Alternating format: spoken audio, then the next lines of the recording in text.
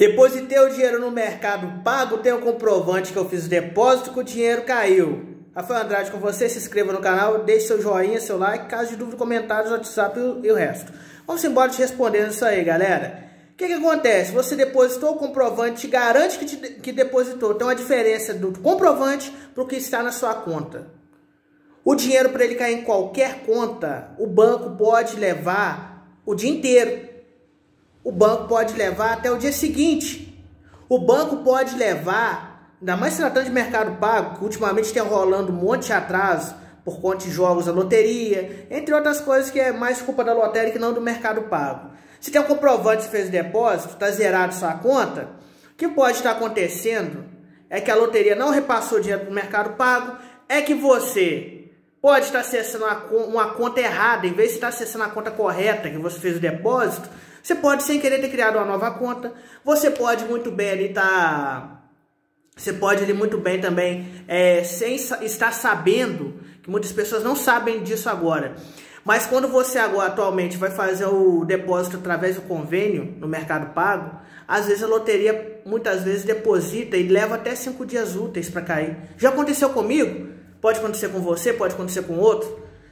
Quando o dinheiro some, que muitos aí acreditam que sumiu lá dentro do, do mercado pago, na verdade dinheiro não sumiu, na verdade é por conta dessas regras que estão mudando, vira e mexe estão mudando, você deposita, você tem um comprovante de depósito, porém o banco que se depositou, no caso a loteria que se depositou, não repassou o dinheiro para o mercado pago. Isso é comum em qualquer lugar, qualquer agência, pode acontecer em qualquer canto do nosso país, qualquer agência, qualquer loteria, tá? Isso é muito normal. Porém, o que não é normal é demorar até cinco dias, sendo que a propaganda é de dentro de uma hora.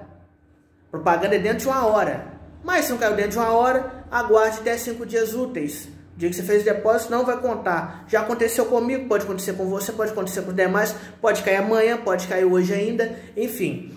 É, eu dei esse vídeo aí, vou até colocar o nome dele lá, meu dinheiro sumiu dentro do Mercado Pago, isso não acontece, tá? Isso aí geralmente não acontece. Acontece de você estar devendo no Mercado Livre, porque você assinou lá para publicidade do Mercado Livre, que é o Mercado Livre ADS, mas ADS, se não me engano.